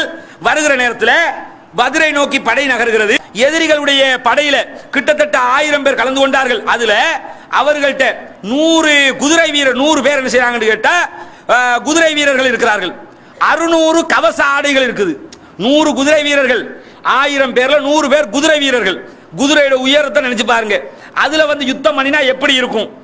அதுல அறுநூறு பேர் கவச வீரர்கள். கவச ஆடை அணிந்து ஈட்டி அம்பெல்லாம் எஞ்சாங்கன்னு சொன்னா வந்து தாக்காது. இரும்பு கவசம் தானே. அதனால பாதுகாப்பு பிறகு கவச ஆடை எல்லாம் இருந்துச்சு. சஹாபாக்கள்ட்ட அப்படி இருந்துச்சா? இல்ல. ஒரு ஒட்டகத்துல மூணு பேர் போவாங்க. மூணு பேர் போற நேரத்துல ரெண்டு பேர் ஒட்டகத்துல ஏறி போவாங்க ஒருத்தர் நடந்து போவாரு. யுத்தத்துல எப்படி யுத்தம் நடக்குது பாத்தீங்களா? ஏழைகளில் யுத்தம்ங்கிறது இதுதான். மூணு பேர் ஒரு வாகனத்தில் போகணும். ரெண்டு பேர் உட்கார்ந்து போவாங்க. ஒருத்தர் கீழே நடந்து போவார். இப்படி போற நேரத்துல நபிகள் நாயகம் ஸல்லல்லாஹு அலைஹி அவங்களும் அபு லுபாபா ரதி அல்லானவங்களும் அலி ரதி அல்லானவர்களும் ஒரு ஒட்டகத்தில் பயணிக்கிறார்கள். இந்த மூணு பேரும் ஒரு ஒட்டகம். அப்ப அபூலு பாபா ரதி அல்லானவர்களும் இந்த அலிரதி அல்லானவர்களும் நபிகள் நாயம் சல்லா அலிஸ்லாம் அவர்களை பார்த்து சொல்கிறார்களாம். அல்லாவின் தூதர் அவர்களே நாங்கள் எப்பொழுதும் நடந்தே வந்து கொண்டிருக்கிறோம். நீங்க மேலேயே உட்கார்ந்துக்கிறீங்க. நீங்க அல்லாவுடைய தூதர் தானே. நீங்க மேலே இருங்க. நாங்க நடந்து வர்றோம். யுத்தத்துல எவன் என்ன நடந்தாலும் நாங்க பாத்துக்கிறோம் சொல்றவரும் சாதாரண ஆள் இல்லை. அலிங்கிறது சும்மாவா? வீரத்தின் புலி. சாதாரண ஆள் கிடையாது. வீரம்னா புலி மாதிரி இருப்பாரு. ஆனா ரசூலுல்லாஹி ஸல்லல்லாஹு அலைஹி அவங்க அவர்கள் இருவருக்கும் சொன்ன பதில் என்ன தெரியுமா? அலியையும் அபூலுபாவையும் பார்த்து சொல்கிறார்கள் நீங்கள் இருவரும் என்னை விட வலிமை மிக்கவர்களும் அல்ல. அலிரதி அல்லாஹ் பெரிய வீரன் தான் ரசூலுல்லாவுடைய வீரத்தோடு ஒப்பிடும்போது அலிரதி அல்லாவுடைய வீரம் நத்திங் அலிரதி அல்லாவுடைய வீரமே எப்படி பெரிய வீரம்? அந்த வீரத்தை ரசூலுல்லாவுடைய வீரத்தோட ஒப்பிட்டோம்னு வைங்க. முடிஞ்சு போச்சு. நிக்காது. நெஞ்சுக்கு நேருக்கு நேர் போய் நிற்பாங்க ரசூல்லா வாட ரெண்டு ஒன்று பாத்துருவோம்பாங்க. அவ்வளவு தைரியசாலி. அந்த ரசூல்லா சொல்றாங்க என்னுடைய வலிமையை விட உங்களுடைய வலிமை ஒன்றும் கூடியதும் இல்லை. அதே மாதிரி நீங்க மட்டும் தான் சொர்க்கம் போகணுமா? நீங்க மட்டும் தான் நன்மை சந்தி சம்பாதிக்கணுமா? நானும் நன்மையை தான் சம்பாதிக்கணும் நான் ஒரு டைம்ல இறங்கி வருவேன். நீங்க ரெண்டு பேரும் ஏறி வாங்க. ஒரு தளபதி என்ன வார்த்தை சொல்கிறார்கள் பார்த்தீர்களா? நம்ம நாட்டு தளபதியா இருந்தா போறதான் போறீங்கப்பா யுத்தத்துக்கு. போகும்போது கார்ல ஏசியை கொஞ்சம் ஒன் பண்ணிட்டு போ. நீ எல்லாம் சண்டை அவன் சண்டை பிடிச்சிக்கிட்டு இருப்பான். இவன் ஏசிக்குள்ள பேப்பர் பார்த்துக்கிட்டு இருப்பான். இதுதான் நம்ம யுத்த களங்கள்ல பொதுவாக நடக்கிறது. எங்கேயாவது தளபதி களத்துல நின்று போராடி ஜெயிச்சு தாக்கப்பட்டார்னு வருதா? சரத் பொன்சேகா அடிபட்டது கூட யுத்த காலத்தில் அடிபட்டானா? இல்ல அது தற்கொலை குண்டுதாரியால் அடிபட்டது. யுத்த காலத்தில் நேரடியாக அப்படி போய் வார் பண்ணுகிற தளபதிகள் ரொம்ப ரொம்ப குறைவு.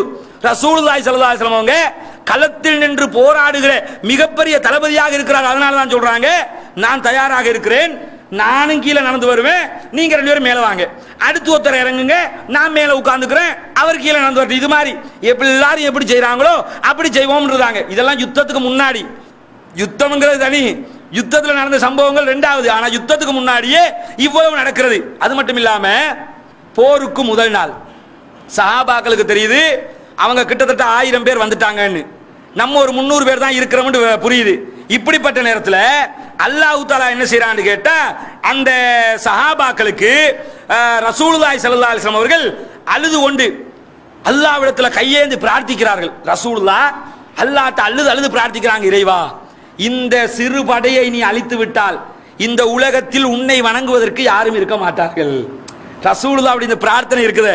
என்ன சொல்றாங்கன்னா இருக்கிறவங்க இவங்க கொஞ்சம் பேர் தான். இந்த கொஞ்ச பேரையும் எதிரிகள் வந்து தாக்கி அழித்து விட்டார்கள் என்றால் இந்த உலகத்திலே இந்த இஸ்லாத்தை வளர்ப்பதற்கு இந்த இஸ்லாத்தினுடைய செய்திகளை சொல்வதற்கு யாரும் இருக்க மாட்டார்கள் ரப்பே. ஆகவே இந்த சமுதாயத்தை நீ காப்பாற்றி விடு அழுது அழுது இரவு முழுக்க எல்லா நபித்தோழரும் தூங்குறாங்க. ரசூலுல்லா அழுது அழுது ஒரு மரத்துக்கு கீழே அழுது அழுது ரசூலுல்லாய் ஸல்லல்லாஹு அலிஸ்லாம் அவங்க பிரார்த்தனை செய்து கொண்டிருக்கிறார்கள். அல்லாவிடத்தில் கையேந்தி துவா கேட்டுக் கொண்டிருக்கிறார்கள். கேட்கிற நேரத்தில் அந்த இடத்திற்கு அபூபக்கர் சித்திக் ரதி அல்லாஹ் வருகிறார்கள். வந்து சொல்கிறார் அஸ்புக யார் சூழல்லா அல்லாவின் தூதர் அவர்களை போதும் நிறுத்துங்கள். அல்லாஹ் கண்டிப்பாக உங்களுடைய கோரிக்கையை ஏற்றுக்கொள்வான். உங்களுக்கு அளித்த வாக்குறுதியை நிறைவேற்றுவான். இந்த சமுதாயத்தை பாதுகாப்பான். எவ்வளவு நேரம் ரசூலுதாலு துவா கேட்கிறாங்க? அதனால தான் அந்த வார்த்தையை சொல்றாரு போதும். அல்லாஹ் கண்டிப்பாக நமக்கு வெற்றியை தருவான். அழுதது போதும் என்று சொல்லி நபிகள் நாயகம் ஸல்லல்லாஹு அலிஸ்லாம் அவரிடத்தில் அபூபக்கர் சித்திக் ரலியல்லாஹு சொல்லுகிறார்கள். அப்ப அல்லாஹ் என்ன செய்யறான்னு கேட்டா நைட்ல சஹாபாக்களுக்கு ஒரு சின்ன தூக்கத்தை கொடுக்குறான். தூங்கவும் வேணும்ல. டயர்டா இருந்தா தூங்காம இருந்தா யுத்தம் பண்ண முடியாது. ஒரு சிறு தூக்கம். சில நபித்தோர்கள் சொல்கிறார்கள் கையிலே இருந்த வாள் எங்களை அறியாமல் கீழே விழுந்தது. விழும்போதுதான் நாங்கள் தூங்குகிறோம் என்று தெரிந்தது. சில ஆக்கள் நின்று நின்றுகிட்டு இருப்பாங்க. அப்படி ஒரு தூக்கம் ஒரு மைனூட் சின்ன தூக்கம். அப்படி கீழே கத்தி விழுகிற நாம தூங்கிட்டு இருக்கோம் போல. அப்படிம்பாங்க. சிறு தூக்கம் எல்லாம் அல்லா கொடுக்குறான். சிறு தூக்கம்ங்கிறது இது ஒரு விஞ்ஞான தகவலை உள்ளடக்கி ஒரு செய்தியாக்கும். ஏன் தெரியுமா? சிறு தூக்கம் இருக்கிற ஒரு காரியம் டயர்டான ஒரு வேலை செய்ய போறோம்னா அதுக்கு முன்னாடி கொஞ்சம் தூங்குவது ஒரு மிகப்பெரிய உற்சாகத்தை தரும். நவீன விஞ்ஞானம் சொல்லுகிற தகவல். அல்லாஹ் என்ன செய்யறான்னு கேட்டா அடுத்த நாள் பெரியோர் யுத்தம் பண்ண போறாங்க. முதல் நாளே கொஞ்சம் லைட்டா ஒரு தூக்கத்தை கொடுக்குறான். எல்லாரும் லைட்டா என்ன செய்யறாங்கன்னு கேட்டா தூங்குறாங்க. சின்னது ஒரு மலை தூத்தல் வருகிறது. மலை தூத்தல்ல சஹாபாக்கள் வந்து ஒரு மேட்டுல நின்றாங்க. எதிரிகள் பள்ளத்துல இருந்தாங்க. புரியுதா? அவங்க என்ன செஞ்சாங்க பள்ளத்துல நின்றுக்கிறாங்க மலையில அவங்க நிறையவே மாட்டிக்கொண்டார்கள். சஹாபாக்களுக்கு நிறைய தாக்கம் எல்லாம் கிடையாது. மேட்டில் நின்றதுனால. அடுத்த நாள் யுத்த காலத்திற்கு படை நகர்கிறது.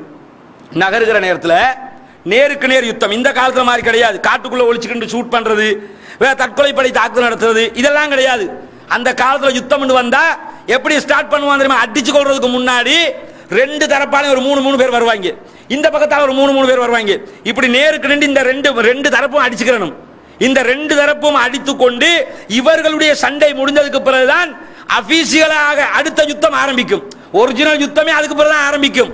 இந்த யுத்தம் ஆரம்பிக்கிறதுக்கு நபிகளாருடைய படை இந்த பக்கம் நிற்குது எதிரிகளுடைய படை அந்த பக்கம் நிற்குது அவர்கள் பிரம்மாண்டமான ஒரு படை.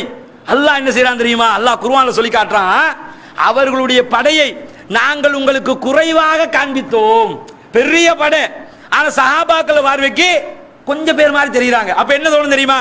ஓ நாமளே முந்நூறு பேர் நிக்கிறோம். இவங்க ஒரு நூத்தி ஐம்பது பேர் தானே நிப்பாங்க அப்ப என்னன்னா லேசா அடிச்சிடலாம் மாதிரி தோணும். அதுக்காக அல்லா என்ன செய்யறான்னு கேட்டா படைய குறைவாக காட்டுறான். சில படைகள் இந்த ஹாலிது பின் வலிது ரதிகள் என்ன செய்வாங்கன்னு கேட்டா சில யுத்த காலங்களில் படையை ஒட்டச்சொடிச்சு உட்கார வைப்பாங்க. நைட் நேரமான என்ன செய்வாங்க தெரியுமா? ஒரு நூறு பேர் இருக்காங்கன்னு வைங்க. நூறு பேரை பத்துக்கா பிரிச்சா பத்து பத்து பேர். பத்து பத்து பேரை ஒரு பத்து இடத்துல உட்கார வச்சு நெருப்ப மூட்டுன்னு சொன்னா எதிரி என்ன பார்ப்பான்? ஒரு ஐயாயிரம் பேர் வந்திருப்பாங்க போல. நைட்டு தானே. இருட்டில் ஒன்றும் தெரியாது. நெருப்பு மூன்று இருக்கிற மட்டும்தான் தெரியும். பத்து இடத்துல நெருப்பே மூட்டுருக்காங்க ஒரு இடத்துக்கு ஆயிரம் வச்சா கூட பத்தாயிரம் பேர். இதெல்லாம் யுத்த தந்திரங்கள். ரசூலுல்லாஹி ஸல்லல்லாஹு அலைஹி வஸல்லம் அவங்க இரவு நேரத்தில் அதுக்குள்ள ஒரு திட்டமிடலாம் செஞ்சு அடுத்த நாள் யுத்த காலத்தில் யார் யார் முதல்ல இறங்கணும் முதல்ல போய் சண்டை போடணும் யாருன்னு முடிவெடுத்துறாங்க அடுத்த நாள் யுத்தம் ஆரம்பிக்கிறது. யுத்த காலத்தில் பத்ரு களத்திலே எதிர்த்தரப்பு எதிர்த்தரப்பை சேர்ந்த காவிர்கள் நிற்கிறார்கள். இந்த பகுதியில் முஸ்லிம்கள் நிற்கிறார்கள். முஸ்லிம்கள் தரப்பால் எதிரிகளுடைய தரப்பால் உத்துபத்தி பின் ரபியா அவனுடைய மகன் ஷைபா அவனுடைய சகோதரன் வலீத். உத்துபதி பின் ரபியா ஷைபா வலீத். இந்த மூணு பேர் மிகப்பெரிய வீரர்கள். எதிரிகள்கிட்ட இருந்த மிகச்சிறந்த படை வீரர்கள்ல இவங்க மூணு பேர் முக்கியமானவங்க. இந்த மூணு பேரும் களத்தில் வந்து நிற்கிறான் வந்து நின்று நாங்கள் தான் எங்கள் தரப்பால் வருகிற வீரர்கள்.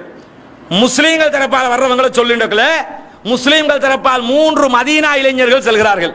மூணு பேர் மதீனாக்காரங்க.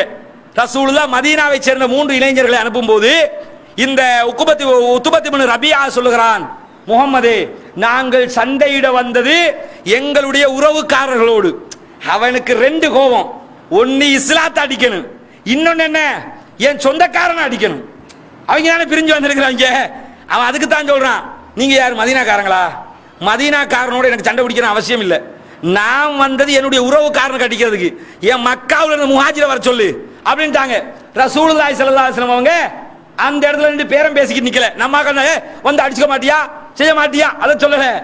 என்ன செய்யறாங்கன்னு கேட்டா ரிட்டன் ஆகுங்க. மூணு பேரையும் பின்னாடி எடுத்துட்டு மூன்று மக்காவை சேர்ந்தவர்களை அனுப்புகிறார்கள். பேசாம அவங்க அவங்களோட சண்டை பிடிச்சிருக்கலாம். இந்த மூணு பேர் இருக்காங்களே மூணு மீண்டும் அனுப்பிய மூணு பேர் ரசூலுல்லா ஒரு இக்குமத்தாக கூட இதை செய்திருக்கலாம். இதை பார்க்கும்போது என்ன புரியுதுன்னு கேட்டா முன்னாடி இப்படி மூணு பேரை அனுப்ப அவன் இப்படி சொல்லுவான்றதை விளங்கி ஒரு எதிர்பார்ப்போட திரும்ப இந்த மூணு பேரை கூட என்ன செய்யலாம்? ரசூலுல்லா அனுப்பி இருக்க வாய்ப்பு இருக்கிறது.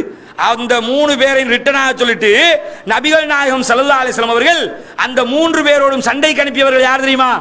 ஒன்று ஹம்சா ரதியல்லாஹு அவர்கள். ஆளை பார்த்து முடியவே அவங்களுக்கு என்ன செஞ்சிருக்கீங்க உசிறு போயிருக்கு. பேசாம அவங்களோட அடிச்சுக்கலாம் போல இருக்கு. யோசிச்சிருப்பானா இல்லையா? ரெண்டாவதாக அதிரதி அவர்கள். தேவையா இது வேணுக்குன்னு யோசிச்சிருப்பான். என்ன யோசிச்சிருப்பான்? மதினாக்காரனோட சண்டை பிடிச்சிருக்கலாம்டா. அப்படின்னு யோசிச்சிருப்பான். மூணாவதாக ரசூலுல்லாஹி ஸல்லல்லாஹு அவர்கள் உபைத உபைதத் இப்னுல் ஹாரிஸ் ரதி அன்ஹு அனுப்புகிறார்கள். இந்த மூன்று மாபெரும் வீரர்கள் மக்காவை சேர்ந்தவர்கள். இந்த மூணு பேரும் களத்தில் இறங்குறாங்க. யுத்தம் ஆரம்பிக்கிறது இந்த மூணு பேர் தான் முதல்ல அடிச்சுக்கிறணும் வர கணக்கை பார்த்தீங்கன்னா ஒரு பதினஞ்சு நிமிஷம் கூட எடுக்காது. இந்த யுத்தம் நடந்த அந்த செய்திகளை பார்க்குற நேரத்தில் இவங்க மூணு பேரும் அடித்து கொண்ட நேரம் இருக்கிறதே. ஒரு பதினைந்து நிமிடம் கூட இருக்காது. சண்டை வெடிக்க ஆரம்பித்த முதல் கடமை ஹம்சா ரதி தானாங்க ஹம்சா ரதி தானாங்க உத்துபத்தி பின் ரபியாவோட மோதுறாங்க. ஹம்சா ஒரு பெரிய தளபதி. அவரு உத்துபத்தி பின் ரபியாவோட மோதுகிறார். அலிரதி அல்லானவர்கள் வலீதோடு மோதுகிறார்கள். அதே போல உபைது ஹாரிஸ் ரதி அல்லானவர்கள் ஷைபாவோடு மோதுகிறார்கள். இப்படி மூணு பேர் மூணு பேரோட மோதுறாங்களா? என்ன நடக்குதுன்னு கேட்டா முதல் சண்டையிலேயே ஹம்சா ரதி அல்லான உத்துபத்தி பின் ரபியாவை கொண்டு விடுகிறார்கள். ஒரு ஒரு ஒரு சொற்ப நேரம். சண்டை ஆரம்பித்தது. வா- ச- கடகடன்னு ஃபைட் போகுது. போனதோட தட்டார் அப்படியே மலை சரிந்ததை போல உத்துபத்தி ரபியா சரிகிறான். எதிரிகள் அத்தனை பேருடைய உள்ளங்களும் ஆட்டம் கண்டு விடுகிறது. எப்படி இருக்கும்? நம்மட படையில இவன் தான் பெரிய தளபதி நினைச்சமே. அசால்ட்டா தூக்கி வீசி விடுறார். ஏன் தெரியுமா? இந்த ஹம்சாவுக்கு ஒரு பின்னணி இருக்கிறது. இந்த ஹம்சா என்ன செய்வார்னு கேட்டா அலிரதி அவர்கள் இஸ்லாத்துக்கு இந்த இஸ்லாத்துடைய ஆரம்ப கட்டத்தில் சாராயம் எல்லாம் தடுக்க படாத கட்டத்தில் சாராயத்தை குடிச்சுக்கிட்டு என்ன செய்வார் தெரியுமா? ஒரு ஒரு ஒரு சாராயத்தை ஊத்தி கொடுக்கிற ஒரு பெண்மணி ஒரு கவிதை பாடுவாள். என்ன கவிதை தெரியுமா? ஹம்சாவே நீங்கள் சென்று அந்த ரெண்டு ஒட்டகங்களை மறுத்து எங்களுக்கு சாப்பாடு போட வேண்டாமா? என்று சொல்லி ஒரு பாட்டை படிச்சிருவா. சாராயத்தை குடிச்சுக்கிட்டு இருப்பாரு. இந்த பாட்டை படிச்சதோட சாப்பாடு தானே? இந்தா போற பாஞ்சு என்ன செய்வார்னு கேட்டா ஒட்டகத்தை சாதாரணமா கொல்ல முடியாது. ஒட்டகம் எவ்வளவு பெரிய உயரமா இருக்கும். அதுல கழுத்தை வந்து கத்திய வச்சு அறுப்பு அறுப்பாங்களா? அறுக்க மாட்டாங்க. ஃபர்ஸ்ட் குத்து தான் கழுத்தை குத்தி தான் என்ன செய்வாங்க? விழுத்தாட்டுவாங்க. பாஞ்சு என்ன செய்வார் ரெண்டு ஒத்து ஒட்டகத்தையும் கொலை செய்து கீழே விழுத்தாட்டுவார். உடனே அலிரதி ரசூல் தாட்ட போய் அல்லாவின் தூதர் அவர்களே உங்க சாச்சா என்ன செஞ்சார் தெரியுமா? நான் க- ஃபாத்திமாவை கல்யாணம் கட்டினேன் உங்க மகளை கட்டி தந்தீங்களே. இந்த ஃபாத்திமாவை கல்யாணம் கட்டினதுக்கு ஏதாவது கொஞ்சம் இதுகர் புல்ல வித்து அதனூட வர்ற வருமானத்துல வலிமா கொடுக்கலாம்னு நினைச்சுக்கிட்டு இருந்தேன். அந்த அதுக்கு வச்சிருந்த அதுக்கு வியாபாரத்துக்கு வச்சிருந்த ஒட்டகத்தை குத்தி கொலை செஞ்சிட்டாரு. வந்து என்னென்று விசாரிங்க பாரு. எதுக்கு சொல்றேன் தெரியுமா? அவ்வளவு பெரிய வீர ஒரு ஒட்டகத்தை கூட சாதாரணமாக தூக்கி போட்டுவார். நேற்று சொன்னமே அபூஜகுல அசால்ட்டா போய் கையில இருந்த வில்லால அடி அடி நடிச்சு மண்டை உடைச்சிட்டு வந்தவர் அவரு. அப்படிப்பட்டவருக்கு உத்துபத்தி பண்ண ரபியா பெரியாளா ஓ, அதனால என்ன செய்யறாருன்னு கேட்டா அசால்ட் அடிச்சு துவம்சம் பண்ணிடுறாரு. அதே மாதிரி அலிரதி எல்லாம் என்ன செய்யறாங்கன்னு கேட்டா ஷைபாவை ஷைபாவை இவர் எவ்வளவு வேகமா அடிச்சாரோ அதே வேகத்துக்கு அடிச்சு நொறுக்கிட்டாங்க. அடிச்சுட்டு பாக்குறாங்க. இந்த உபைதத்து பின் ஆரிசா ரதியுல்லானவர்களும் வலீதும் அடித்துக் கொள்கிறார்கள். அந்த சண்டை நிக்கல. வலீத் என்ன செய்யறான்னா உபைதா ரதியுல்லானுக்கு வெட்டிடுறான். வ- உபைதா ரதியுல்லானு வலீதுக்கு வெட்டிடுறாங்க. ஆனா சண்டை தொடருது. உடனே என்ன செய்யறாங்கன்னு கேட்டா இந்த ரெண்டு பேரும் பாஞ்சு உபைதா கொஞ்சம் பின்னுக்கு வாங்க நாங்க பாத்துக்கிறோம். முடிஞ்சு வச்சா ஒரு ரெண்டு வெட்டு ஆள் அந்த இடத்துல அவுட்டா போயிட்டான். இது யுத்தத்துல வேற யாரும் வரக்கூடாது. இந்த மூணு பேர் தான் சமாளிக்கணும். மூணு பேரும் என்ன செய்யறாங்கன்னா ஒரு பதினைந்து நிமிட கேப் இருக்கும். ஒரு வித்தியாசம் இருக்கும். அடிச்சு துவம்சம் பண்ணி முடிய மக்காவை சேர்ந்த மூன்று தளபதிகளும் அந்த இடத்திலே செத்து மடிகிறார்கள் ம- மதீனாவிலிருந்து கலந்து கொண்ட முஹாஜிர் சஹாபாக்கள் ஒருவருக்கு காயம் ஏற்படுகிறது. உடனே தூக்கிட்டு போயிடுறாங்க மருத்துவம் பார்க்கறதுக்கு. இப்ப யுத்த காலம் கொஞ்ச நேரம் அமைதியாகணும். அதுக்கு பிறகுதான் சண்டை ஆரம்பிக்கும். முதலாவது அடியே மரண அடியாக எதிரிகளுக்கு விழுந்தது. அந்த இடத்தில் அலிரதி அல்லானவர்களை பற்றி சொல்கிறார்கள். அலி எவ்வாறு கலந்து கொண்டார் என்று சொல்லி சொன்னார். அலிரதி அல்லானவர்கள் தந்த ஒரு கவசத்தை அணிந்து கொண்டு ஒரு மிகச்சிறந்த வீரனை போல் அந்த யுத்தத்திலே அலி அவர்கள் கலந்து கொண்டதை நாங்கள் பார்த்து கொண்டிருந்தோம் என்று சொல்லி சஹாபாக்கள் சொல்லுகிற செய்திகளை பார்க்கிறோம். ரசூலுதா சொல்லுகிறார்கள் சஹாபாக்கள் இணைத்து நபித்தோழர்களே இனித்தான் யுத்தமே ஆரம்பிக்க போகுது. ஒரு கூட்டத்தை அப்படியே நிப்பாட்டுறாங்க. எதிரிகள் அம்பைகிற அம்பெய்கிற வரைக்கும் நீங்கள் அம்பெய்ய கூடாது. எதிரி அம்பு அம்பால எய்கிற தாக்குதல் இருக்குதே புல்லட் வர்ற மாதிரி இருக்கும். அந்த அம்பெய்தலை அவர்கள் ஆரம்பிக்கிற வரைக்கும் நீங்கள் யாரும் அம்பைய கூடாது. அவர்கள் முஸ்லீம்களை நெருங்கி வந்தால் அம்பைய ஆரம்பித்து விட வேண்டும் என்று சொல்லி நபிகள் நாயகம் சல்லா அலிஸ்லாம் அவர்கள் சொல்லுகிறார்கள். சொல்லிவிட்டு சொல்கிறார்கள். இந்த உருவத்தி பின் சுபைர் ரதியல்லாஹு அன்ஹு சொல்றாங்க பிற்காலத்திலே நான் என்னுடைய தந்தையினுடைய முதுகுகளை பார்த்திருக்கிறேன். அப்துல் ஜுபைர் ரதியல்லாஹு அப்துல் அந்த ஜுபைர் அவ்வாமுடைய முதுகை பத்தி சொல்றாரு. என்னுடைய த- நான் சிறுவனாக இருக்கும்போது நான் ஓட்டைகள் ஓட்டைகளில் போட்டு சின்ன சின்ன விளையாட்டுலாம் நான் விளையாடுவேன். விளையாடுற நேரத்தில் என்னுடைய தந்தையினுடைய முதுகுகளை பார்த்தால் அதிலே சில ஓட்டைகள் இருக்கும். நான் என்னுடைய கைவிரல்களை அதற்குள் போட்டு விளையாடுவேன். என்ன ஓட்டைன்னு கேட்டால் பத்ரில் அவர் பட்ட அடியது பத்ரில் வெட்டு காயங்கள் பட்டு குழியாகவே ஆகியிருக்குது. முதுகுல ஓட்டை இருக்குது. ஓ ஒரு சில பகுதியில் அதுக்குள்ள இப்படி கையை விட்டு செய்வானா? நான் விளையாடுவேன். அந்த அளவுக்கு என்னுடைய தந்தை அந்த யுத்தத்திலே அவ்வளவு கடினமாக போராடினார். அப்பதான் ரசூல்லாய் சல்லா அலிஸ்லாம் அவர்கள் திரும்ப கையேந்தி அல்லாவிடத்தில் பிரார்த்தனை செய்கிறார்கள். பிரார்த்தனை செய்யும் போது சஹாபாக்களை பார்த்து சொல்கிறார்கள் சஹாபாக்களே நற்செய்து பெற்றுக் கொள்ளுங்கள். தன்னுடைய படையோடு இந்த படைக்கு ஆதரவாக இறங்கிவிட்டார். அதை கேட்டதோட சஹாபாக்கள் அத்தனை பேருக்கும் அந்த புத்துணர்ச்சி இருக்கிறதே. திரும்ப ஒரு ஹார்லிக்ஸ் குடிச்ச மாதிரி இருக்கும். அவ்வளவு என்னடா இது? இப்படி ஒரு படையா? சில சகாபாக்கள் சொல்கிறார்கள் நாங்கள் குதிரையை ஓட்டி கொண்டு போவோம். ஓட்டி கொண்டு போகும்போது வேகமாக செல்லன்ற ஒரு சத்தம் கேட்கும். வேகமாக போகண்டு கேட்குமா? திரும்பி பார்த்தா யாரும் இல்லை. சாட்டை அடிவிலும் திரும்பி பார்த்தால் யாரும் இல்லை. வால் ஃபைட்லாம் கிடையாது. சாட்டை அடி விழுகுது ஆனா எனக்கு முன்னாடி போன எதிரி கீழே விழுந்திருப்பான். இறங்கி பார்த்தா அவனுடைய முகங்கள் எல்லாம் பச்சையாக மாறி இருக்கும் நீலங்கண்டி போயிருக்கும்ல பார்த்தா சாட்டையினுடைய அடி. அடிச்சல்ல அந்த சாட்டையினுடைய அடையாளத்தை அவர்களுடைய முகத்திலே நாங்கள் பார்ப்போம். ஓடி வந்து ரசூலுல்லாஹ் சொல்றார் அல்லாவின் தூதரே நான் யுத்தம் செய்கிறேன். யுத்தம் செய்யும் போது இப்படி ஒரு சத்தம் கேட்கிறது. சாட்டையினுடைய ஓசையும் நான் கேட்கிறேன். ஒருவர் கீழே மலார் என்று விழுகிறார். போய் பார்த்தால் அவருடைய முகத்திலே சாட்டையினுடைய அடையாளம் இருக்கிற முகமெல்லாம் பச்சையாக மாறி இருக்கிறது என்ன காரணம்? நபித்தோழர்களே ஜிப்ரில் ஆயிரம் மலக்குமாரோடு இறங்கி இருக்கிறார் மலக்குமார் அடிக்கிற அடியது மூன்றாவது வானத்திலிருந்து அல்லாவுடைய உதவி உங்களை நோக்கி இறங்கி இருக்கிறது. ஆரம்ப கட்டம் மலக்குமார் இறங்கி அடிக்க ஆரம்பித்த அடி அன்றைக்கு நடந்த யுத்தம் அந்த யுத்தத்திலே எதிரிகள் எல்லாம் துவம்சமாக உண்டு இல்லை என்று ஆக்கப்படுகிறார்கள். மக்கா வாசிகளுக்கு வரலாற்றில் இப்படி ஒரு அடி விழவில்லை என்ற அளவுக்கு மிகப்பெரிய தாக்கத்தை உண்டாக்கியது பத்ர் இன்ஷா அல்லாஹ் பத்ரு களத்திலே யுத்தம் எப்படி நடந்தது? யார் யாருக்கு எப்படி தாக்கினார்? எப்படி வெட்டுக்காயங்கள் ஏற்பட்டது? என்பது தொடர்பான நுணுக்கமான செய்திகளை எல்லாம் நாளைக்கு இதனுடைய தொடரிலே பார்ப்போம். சுபானகல்லாம் அபிந்தி கஷதல்லா இல்லை தஸ்தவர்கள்